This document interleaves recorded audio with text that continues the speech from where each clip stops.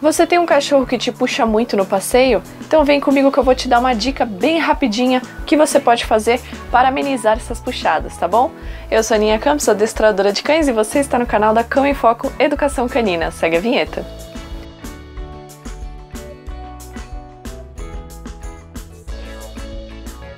Não existe uma situação mais normal e mais comum e tão incômoda do que você ver pessoas passeando com seus cães que estão sendo literalmente arrastadas pelas ruas. E por que isso acontece? Simplesmente porque o cachorro está maluquinho para sair de dentro de casa para passear, arejar a mente, farejar e ver gente e enfim gastar energia. Os cães eles são animais sociais assim como nós, e muitas vezes quando a gente fica o dia inteiro dentro de casa ou então trabalhando a semana inteira e chegamos no fim de semana, o que, que a gente quer fazer?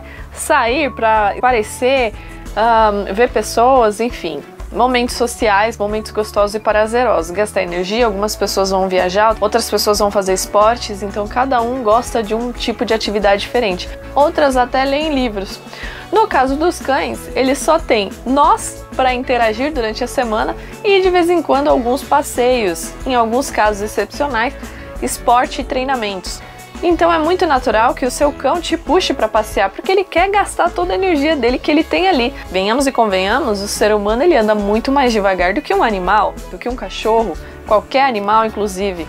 Como nós somos os sapiens, os animais eles precisam se adequar a nós, porque senão como é que vai haver uma troca, né? Então, o que você precisa fazer? Primeiro, mostrar para o seu animal que ele não é bem sucedido quando ele puxa. Toda vez que ele puxar, você vai parar.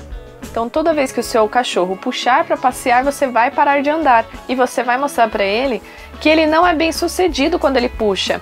E quando ele para de puxar e olha para você e espera você, você continua andando para frente.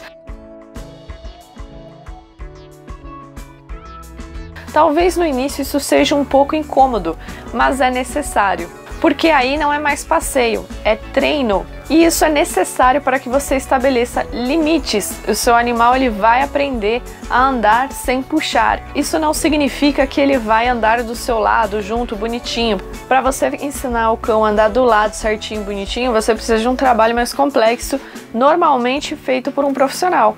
Mas só de você conseguir andar com o cão sem ele te arrastar pela rua já é um grande feito, não é verdade? Então, independente da ferramenta que você utiliza no seu animal, não se prenda a ferramentas, se prenda a sua inteligência de usar os seus recursos ao seu favor. Seu cão te puxou, você vai parar e você vai mostrar para ele que ele não vai continuar andando se ele continuar te arrastando. E quando o seu cão parar e te esperar, você continua andando. Pode ser que demore, dependendo de quão enraizado está esse comportamento de puxar na vida do seu cachorro, mas pode demorar para obter resultados realmente duradouros. Porém, se você for mais resistente do que ele, tenho certeza que, como um bom animal e inteligente que ele é, ele vai entender que ele só ganha se ele te esperar, tá bom? Espero que você tenha gostado dessa dica. Um grande beijo. Até a próxima!